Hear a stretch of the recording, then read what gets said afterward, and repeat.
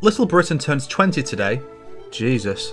For those not in the know because you're not British or are too young to have seen the show in its heyday but are still old enough to have a YouTube account, Little Britain was a sketch comedy radio series by Matt Lucas and David Walliams that then transitioned to television in February 2003. Trust me, it was huge back in the early 2000s. And that time frame should tell you exactly whether or not the humour is for you. While a lot of the show's comedy ranges from repetitive to um, there is one major recurring character that I believe not only still holds up, but has only grown more powerful as a piece of satire in the two decades since the show concluded. And that character is Daffyd Thomas. Daffyd's core concept is that he is the self proclaimed only gay in the village. The joke, however, is that he is not. Homosexuality is near universal in his village, with most villagers being revealed to have at least indulged in some bum fun, if not outright being gay. Even Daffyd's brother and best friend are gay, and Daffyd continues to use his moniker long after learning this. Daffyd was always the butt of the joke, but that joke was never lol gay, beyond the use of over the top flamboyance for comic effect and the odd insult he gets for his general demeanour. And even then, I think it's only other gay people who use those words. Daffyd's sketches were largely just about him being delusional or desperate enough to deny that anyone else was gay to satisfy his own ego, while also being totally ignorant of the fact that so many people around him were also gay, no matter how blatant. Gay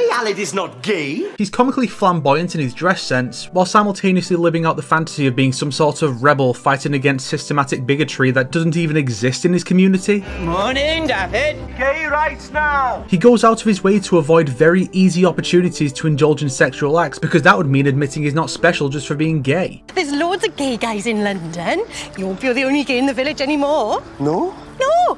It'll be brilliant. He expects, or rather hopes, to be ostracised by his parents when he comes out, but they've known for a long time due to his total lack of subtlety, and they're nothing but supportive. So you're not going to disown me or cast me asunder? Hey! The same goes for every single other person he ever interacts with. Even those that aren't gay or bi-curious themselves are shown as nothing but accepting of it. What that boy needs is a nice big cock up his ass. Not a single sketch ever presents Daffyd facing any sort of bigotry for his orientation. In fact, the only character to ever display such abhorrent behaviour in these sketches is Daffyd himself. The sketches where he learns about his brother and best friend are the prime examples of this. In the former, his brother comes out to him as gay and seeks his advice on how to come out to their parents. Daffyd then proceeds to try and make his brother suppress this side of him, or at least to be bisexual instead. After all, Daffyd can't well claim to be the only gay in the village when his own brother is openly gay too. And in the latter, You are not a gay. I am. No, I'm the gay in this village. And then there's his numerous disparaging comments surrounding lesbians, which he says in front of his best friend at her own wedding party to her wife. Well, you can't be bringing up kids. It's not right.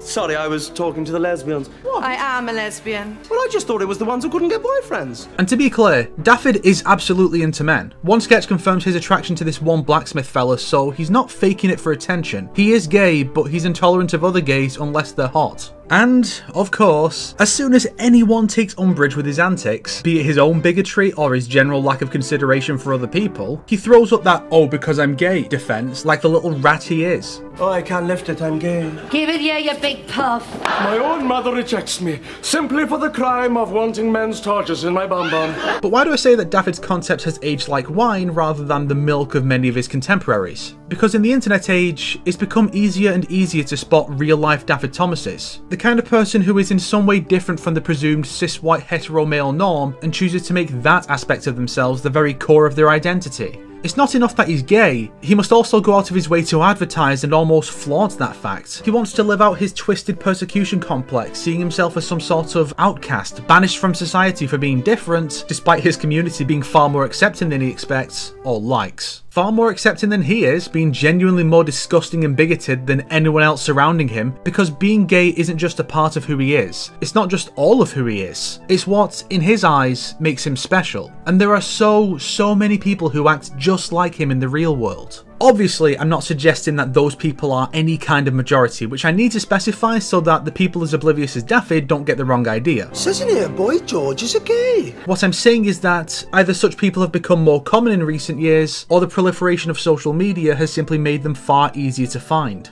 Not that you have to look hard to find them, given how loud and obnoxious they are. And that's why Daffyd Thomas is the most relevant and well-aged character in Little Britain, even if this video itself may not be as relevant as it was two years ago when I came up with the concept and wrote off all the DVDs I bought on my taxes, forcing me to make this eventually. If you liked this video, why not subscribe and support me on Patreon like these fine people here? If not, then make sure to share it with your enemies so they can suffer along with you.